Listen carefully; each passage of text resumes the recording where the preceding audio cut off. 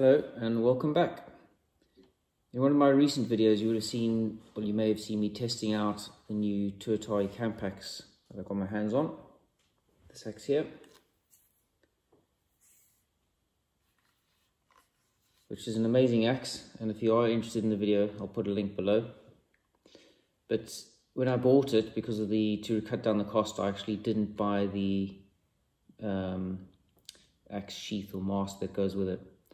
They do sell it with a sort of racing style uh, leather sheath, which has a Velcro strap. So um, it is quite nice and it's similar to their normal racing style masks, but um, well, it, it, added to the cost. But also, I thought, being as this is going to be a sort of more camp or bushcraft style axe, it'd be nice to have a more traditional shaped leather sheath. So my plan is is that I'm going to make one um, a bit more complex than the ones I've made previously. I'm going to add a buckle to it and um, hopefully it'll turn out pretty well. So if you're interested, stick around and we'll see how I get on. So I started out by drawing, making paper templates and I drew the profile of the axe onto the paper first and then added a section around the outside for the stitching and the welt. But what I did find because this axe is so thick, is so large,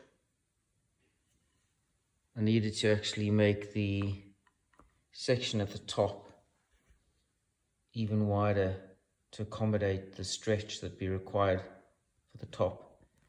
So I've subsequently made a slightly bigger, um, same profile, but actually sticks out a little bit further and that's going to accommodate the extra stretch the leather will need to get round that thicker profile. So the first step I've done is to mark out the profile onto the backside of the leather. And something else worth mentioning is that in this instance I'm using three to three and a half mil veg tanned leather. My previous sheaths were made out of a much thinner oil tanned leather. So it was easier to work and didn't require any finish, but it's not as robust as this one. So this should make a more robust sheath. So next step now will be to cut this out.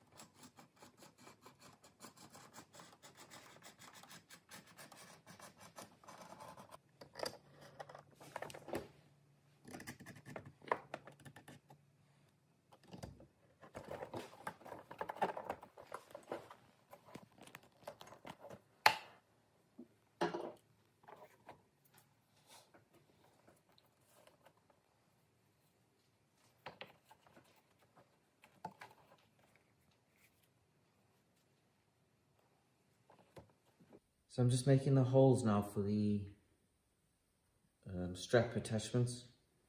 Um, I've made one, lined it up with that rivet, and now I'm just making the second one through both pieces.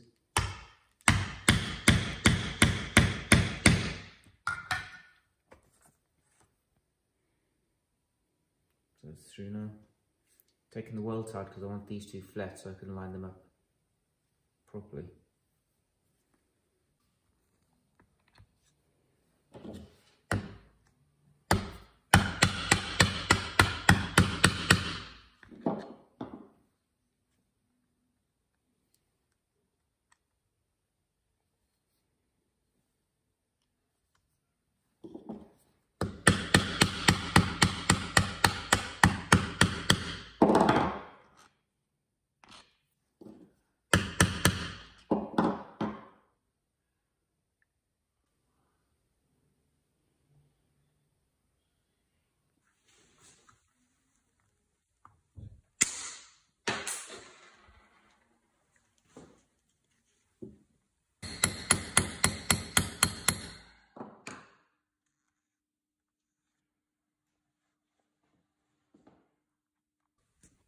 I just marked up the insides uh, for the gluing.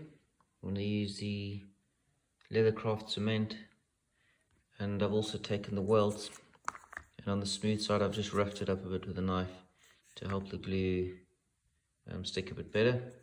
So I'm going to assemble it all now, put them together, glue it, clamp it and then I'll leave it overnight to sit properly before I carry on with the stitching. So it's been drying overnight. I just sanded the edges a little bit this morning. And then I've taken the edge, edging tool and run an edge around. That's the first one is just for a pattern. And then the inside one was for the stitching. And then I used the wheel marker to mark out the stitching holes. And I also just ran the edge beveler around the edges. So the next step now is to actually punch the holes for the stitching of the awl and I'll do that all by hand. Um, so the stitching only runs around the top and, and the front.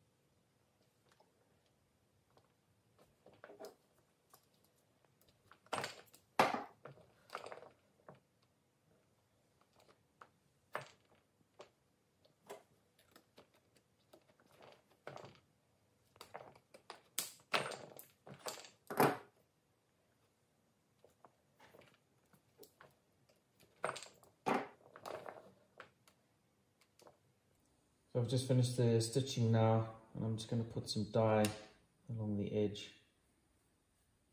I think it'll contrast nicely with the stitching and finish off the edges.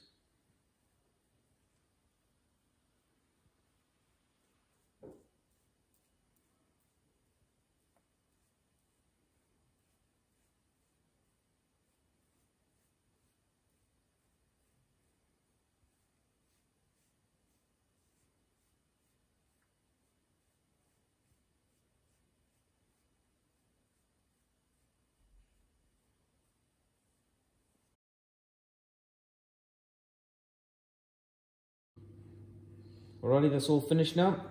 So what I've just, once the dye had dried, I put some mink oil on and just burnished it um, and it's come out really nicely.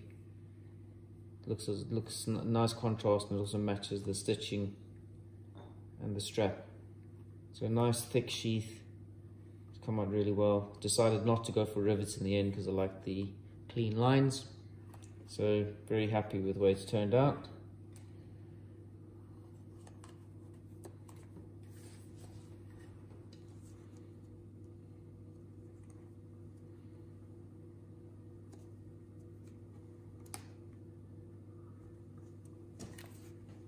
there we have it.